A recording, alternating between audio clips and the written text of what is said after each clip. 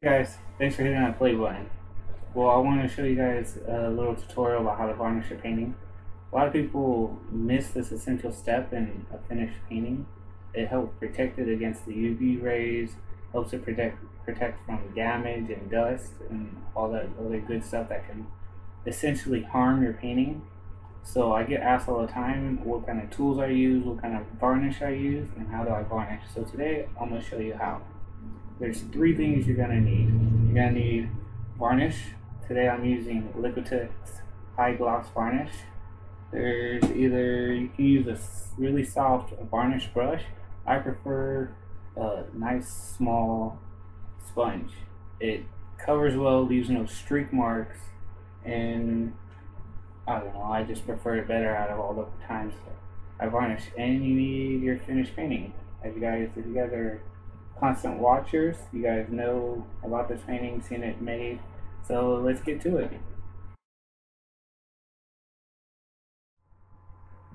Alright guys, we're gonna start out, we're gonna pour the varnish onto the painting. I just do it randomly. A little bit on the sponge.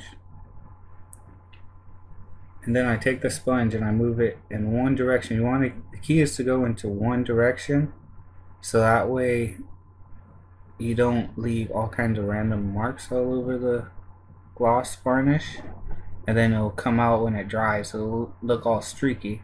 So if you go in one direction you wait two hours then you're going to go the opposite direction after it dries. And this opposite direction will stop any streak looking things and it'll give it an even coat of varnish. That's pretty much how I do it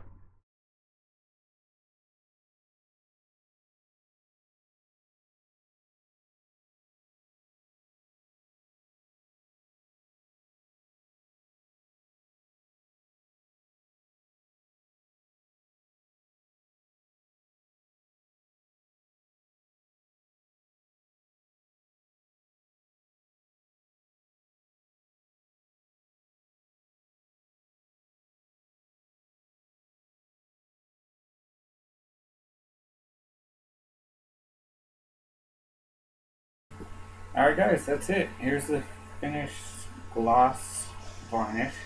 You see it's gloss all the way through.